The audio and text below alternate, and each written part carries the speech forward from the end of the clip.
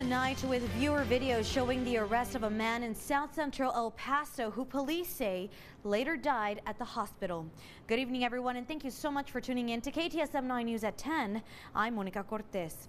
Our KTSM 9 News reporter Oriana Botaro breaks down what was captured on camera and what a civil rights attorney says about the incident. We do want to warn you, what you're about to see is a little disturbing to some. Yasmin Alvarado was driving in south central El Paso Sunday afternoon when she saw police working to arrest a man near Alameda Avenue and South San Marcial Street. She pulled her phone out and began recording. And then there's one guy where he he's like kicking his head and then kicking like around his arm. Um, I don't know what he did to get to that extreme. It was obvious he was. Uh, uh, refusing arrest, but it was a little bit extreme. In the video, you can see the man running away from police before suddenly falling to the ground. At least six officers are then seen piling on top of the man, one officer kicking and stomping something out of the man's hand. Alvarado says it was a shocking sight to see in broad daylight.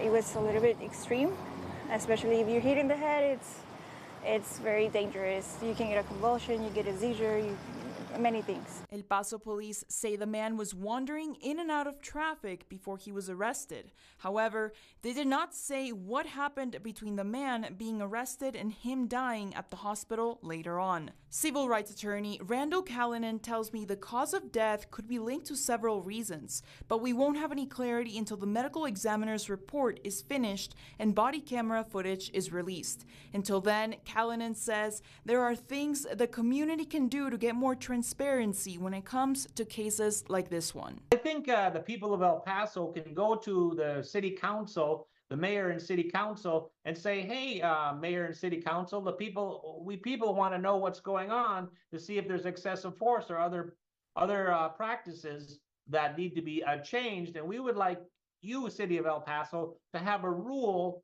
To release body cameras after a certain time period. And in case of death, 30 days. For now, the investigation into what happened continues. Oriana Botaro, KTSM 9 News.